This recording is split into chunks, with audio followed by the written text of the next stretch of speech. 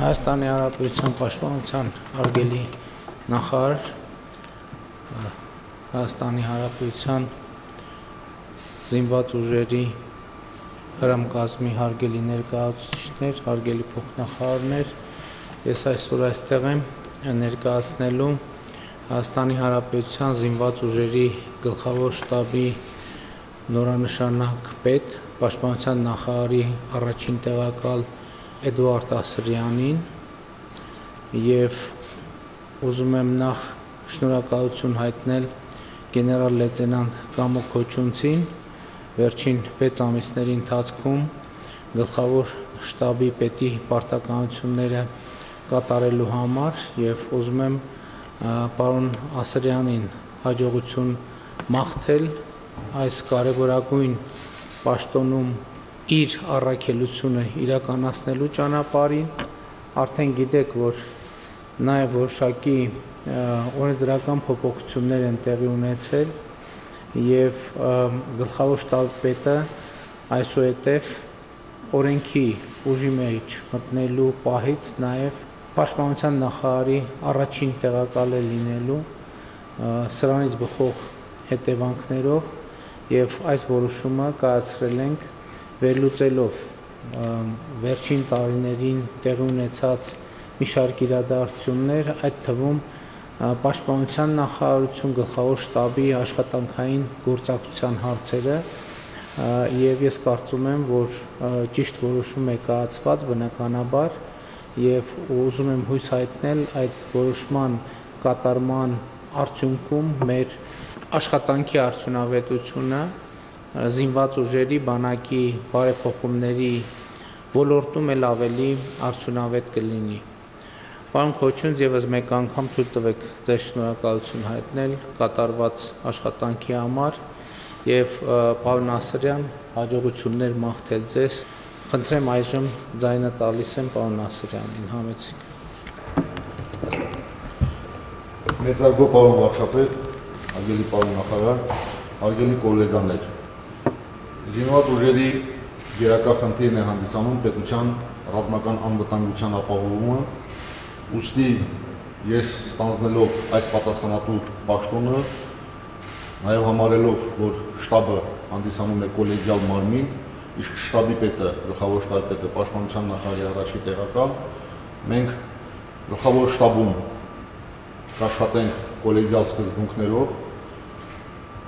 միանշանակ գլխավոր շտաբի որոշմամբ եւ առաջարկներ կներկայացնենք պաշտպանության նախարարին։ Ու այդ պատասխանատու պաշտոնում մեծարգո պարոն վարչապետ, ես պարտավորվում եմ կատարել բոլոր նախատեսված գործառույթային պարտականությունները եւ կատարել դրված խնդիրները։ Շնորհակալություն։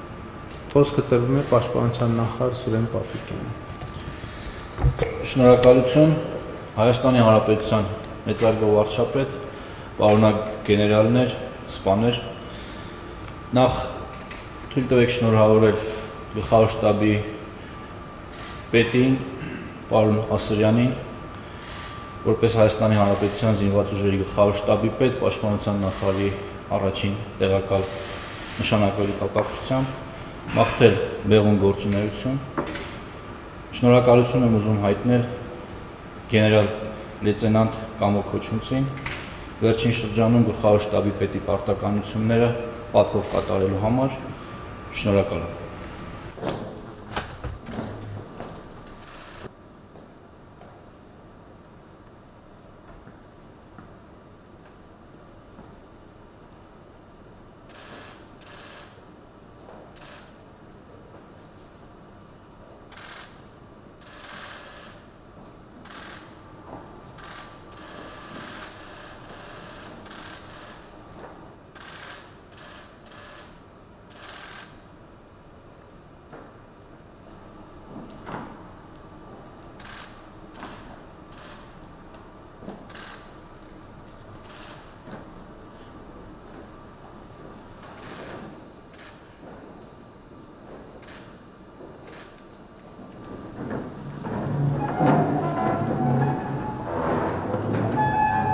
Ինչու հոկտեմբերի 27-ին չէիք մասնակցում աժնիստին։ Լյովա Եղիազարյան Մամուլեյը մգրում է։ Հանրապետություն կուսակցության անդամ Լյովա Եղիազարյանի գրառումը Արմեն Գրիգորյանի հավերժության պատճառը նրա հիվանդությունը չէր, ասում է Սերժ Սարգսյանը։ ՀԼՍ-րան նայեք, հավերժության պատճառներից է խոսում։ Հիմա հարցերի շարան, որն է եւ ով է Արցախի Գերագույն խորհրդի առաջին նախագահ Արթուր Մկրչյանի հավերժության պատճառը։ Որպես ազգային անվտանգության նախարար կասեք, թե որն է, ով է Վահրամ Խորխորունու եւ Արծրուն Մարկարյանի հավերժության պատճառը։ Ինչու հոկտեմբերի 27-ին չէիք մասնակցում աժնիստին ու որպես Հայաստանի անվտանգության թիվ 1 պատասխանատու կասեք, թե որն է եւ ով է Վազգեն Սարգսյանի, Կարեն Դեմիրճյանի ու մյուս զոհերի հավերժության պատճառը։ Որն է եւ ով է Պողոս Պողոսյանի հավերժության պատճառը։ Կարող է տեղյակ եք, թե ով եւ ովքեր են մարտի 1-ի առնվազն 10 զոհերի հավերժության պատճառը, որի արդյունքում զավթեցիք իշխանությունը։ Չշարունակեմ, նամուսը գցել են շան առաջ, շունը չի կերել։ Վարչապետ Նիկոլ Փաշինյանը շնորհավորական ուղերձ է հղել Վրաստանի վարչապետ Իրակլի Ղարիբաշվիլին Հայաստանի եւ Վրաստանի միջև դիվանագիտական հարաբերությունների հաստատման 30-ամյակի կապակցությամբ։ Ուղերձում նշված է. Հարգելի պարոն Ղարիբաշվիլի,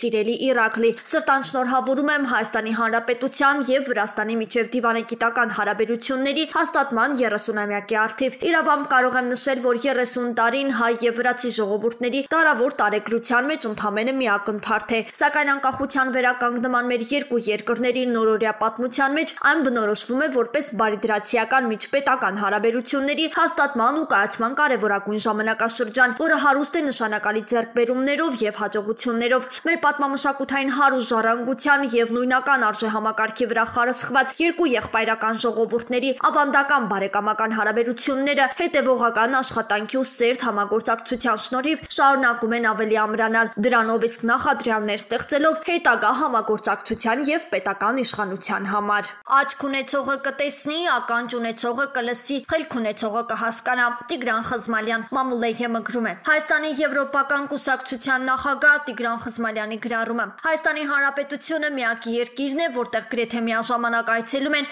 Ամերիկայի Միացյալ Նահանգների հետախուզության տնօրեն Ուիլյամ Բըրնսը եւ Իրանի անվտանգության խորհրդի ղեկավար Ալի Շամխանին։ Իսկ ոմանք դեռ տնքում են, որ ամեն ինչ կորավ, բրծավ, ծախվեց։ Մենք էլ չկանք ու ոչ ոքի պետք չենք։ Մի լսեք բայղուշ ԿԳԲ-ի շնիկներին, աչք ունեցողը կտեսնի, ականջ ունեցողը կլսի, խելք ունեցողը կհասկանա։ Մենք չենք պարտվել, քանի դեռ պայքարում ենք մեր իրական դաշնակիցների հետ միասին։ Twitter-ը դատի է տվել Elon Musk-ին ընկերության գնման գործընթացն ավարտին հասցնելու պահանջով, ավելին պահանջել է դատարանի ծառագացված կարգով դատավարություն իրականացնել։ Իր հերթին Elon Musk-ը դատարանին խնդրել է մերժել Twitter-ի խնդրանքը արագ դատավարություն անցկացնելու վերաբերյալ։ Musk-ի թիմն ասում է, որ դատավարությունը պետք է հետաձգվի մինչև հաջորդ տարի։ Դատական նիստը տեղի կունենա 2022 թվականի սեպտեմբերին։ Հռոմի Պապ Ֆրանցիսկոսը կոչ արել շուտ ապույտ վերսկսել Ուկրաինայի հակամարտության կարգավորման բանակցային գործընթացը։ Նման հայտարարություն քահանայապետն արել է Սուրբ Պետրոսի հրապարակում ավանդական Կիրակնորյա քարոզից հետո։